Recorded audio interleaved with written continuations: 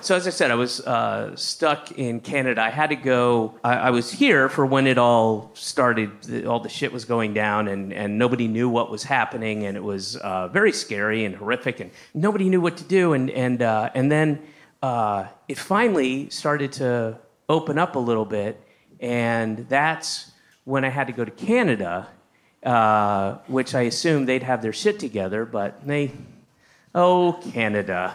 Um, they did not, and uh, and we were we were there. My, my whole family was there, and and uh, you know you weren't allowed to go back and forth, and and we it was stay at home orders. It was locked down except for two weeks in early March. Uh, it was just locked down. There was nothing to do. I thought I'd be able to do stand up. I didn't. My point being that I didn't get to do stand up for a year and a half, which is an eternity if you're a stand up. It's the easily easily the most narcissistic. Job you can have. It's I get on stage in front of strangers. I'm like, I I'm gonna I'm gonna make you listen to me for an hour.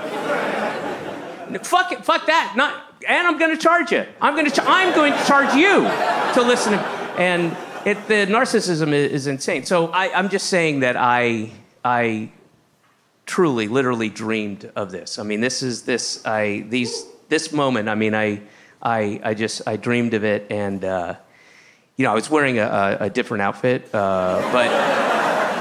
Next day, I'm owed. Like a one piece mechanic, uh, like a jumps, what do you call it, coveralls? They were like coveralls I was wearing, which I've never worn. I've never owned coveralls, I've never worn them. Uh, and, but they were kind of nice. They weren't like greasy or anything. There was, it was understood in the dream that these were kind of, you know, not like a tux t shirt, but just like a, a, a, a, nice, nice coveralls. And then, and we were, uh, uh, uh we were, it was, it was at this, um, it was in my house, but not in my real house, but in the dream it was my house, you know. But I've never been there in real life. But you know, and then and and you were there, and we were. Um, and we were like hosting this party. The two of us were like we I, we were like generally the hosts. I couldn't tell you what the thing was, but it was very fancy. And there were people out on the lawn, and you know there were people servers with champagne and stuff, and it was just very fancy. And we knew we were a little bit nervous about it. We started uh, making out at one point, and then and then and then it kind of switched, and we were in this like old pantry, like a. a big pantry, like a walk-in pantry, and we're looking for something, and, and then we made out again, but this time with, with fingers, and uh, and and then, but then we started getting nervous, right? Because uh, uh, it, uh, so we heard that Fran Drescher, somebody comes in, Fran Drescher's here, Fran Drescher's here, and we're like, oh shit! And it became really important to us in the dream. Uh, it became really important uh, to let everybody know, to make sure they knew that. Uh, it's like Fran Drescher. Uh, One total bitch a year. Not really a nanny. She's an actress playing a nanny. Everybody needs to know that. And then and then and then uh, uh, uh, and then and then it kind of switched again because I, I had to take a shit. So then everything, the rest of the dream was uh, me uh, just running around going like, oh, I gotta take a shit. Is this? Oh, this bathroom is uh, the water's running. It's not. It's broken. And uh, what about in here? Oh, it's occupied. And it was 20 minutes of walking around this house going like, what about here? Oh, there's uh, the that's too hot. Okay, what about here? Oh, the lid is broken. And then. Um, and then I woke up because uh, I had to take a shit.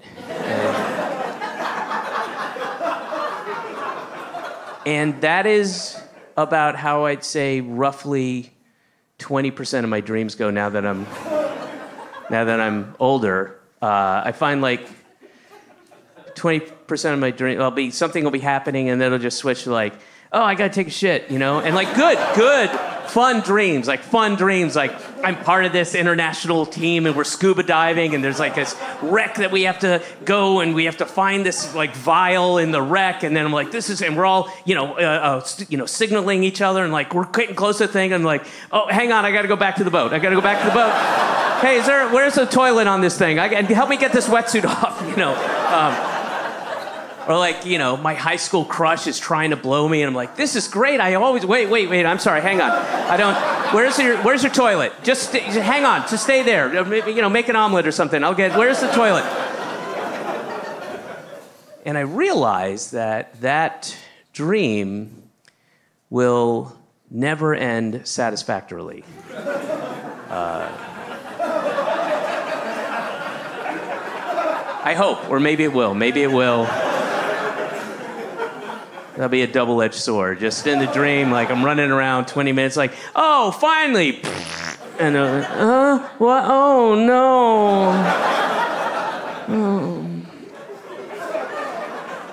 I'm old. You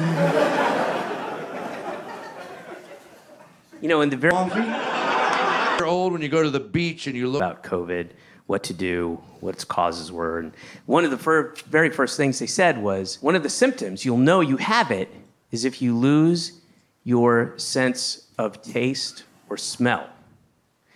So, with that in mind, trying to be safe, every night before I'd go to bed, on the side of the bed, I would take a dump.